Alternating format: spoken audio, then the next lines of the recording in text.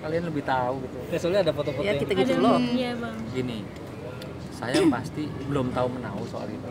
Ya kalaupun ada atau tidak ada ya positif thinking aja lah gitu kalau saya pribadi ya.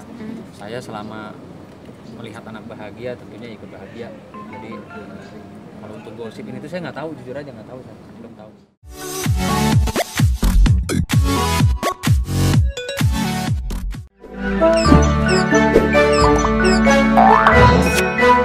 Bye.